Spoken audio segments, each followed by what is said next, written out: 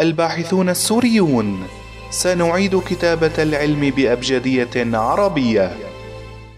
تشنج المريء. esophageal spasms المريء هو عضو أنبوبي في الجهاز الهضمي يقوم بنقل الطعام من الفم إلى المعدة عبر تقلصاته المنتظمة والمتناسقة والتي تدعى بالحركة الحيوية للمريء وعندما يحدث اختلال في هذه التقلصات بحيث تصبح غير منتظمة أو لا متناسقة أو قوية جدا فنكون أمام حالة تدعى تشنج المريء. والتي تعيق وصول الأطعمة إلى المعدة. ولتشنج المريء نوعان. تشنج المريء المعمم. diffuse esophageal spasms وتكون تقلصات المريء غير متناسقة وغالبا ما يرافقه ارتداد الأطعمة والسوائل إلى الفم. مريء كسارة البندق. nutcracker esophagus حيث تكون تقلصات المريء متناسقة ولكنها قوية جدا مما يسبب ألما شديدا عند مرور الأطعمة ونادرا ما يرافقه ارتداد الأطعمة. لا يعد تشنج المريء شائعا وتتشابه أعراضه مع حالات أخرى كالقلص المعدي المريئي gastroesophageal reflux disease. أي عودة الحمض المعدي والعصارات الهاضمة من المعدة باتجاه المريء.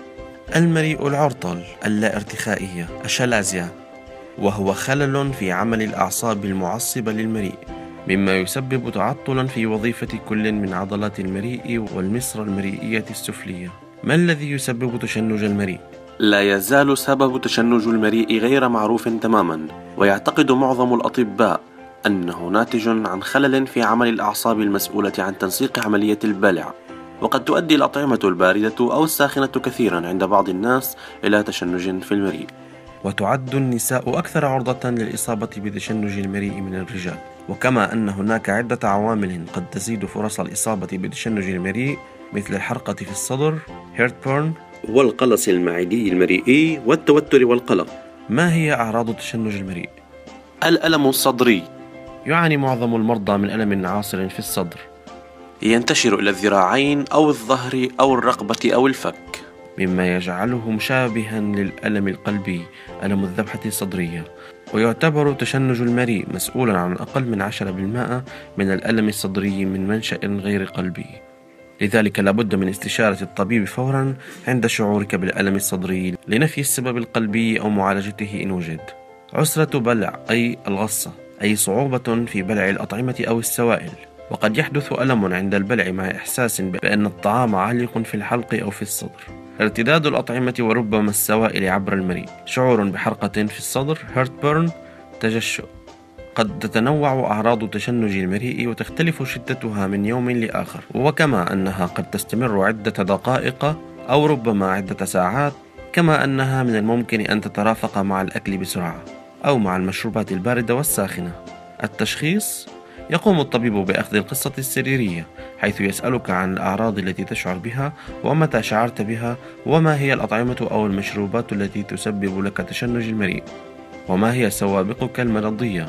ويؤكد التشخيص بإجراء بعض الفحوصات ومنها صورة ال X-ray صورة بالأشعة السينية للمريء وذلك بعد شرب مادة الباريوم قياس ضغوط المريء esophageal manometry وذلك لقياس التقلصات العضلية للمريء بعد شرب الماء باستخدام أنبوب موصول بجهاز يقيس الضغط داخل المريء.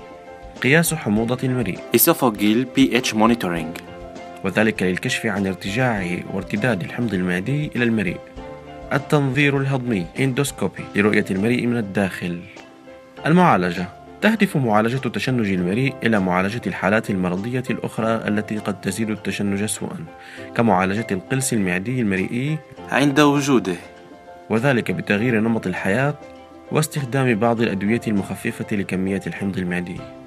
وتتضمن معالجة تشنج المريء أيضا تغيير الأطعمة أو الأشربة فمن الممكن أن يصف الطبيب بعض الأطعمة والسوائل التي تجعل عملية البلع أسهل.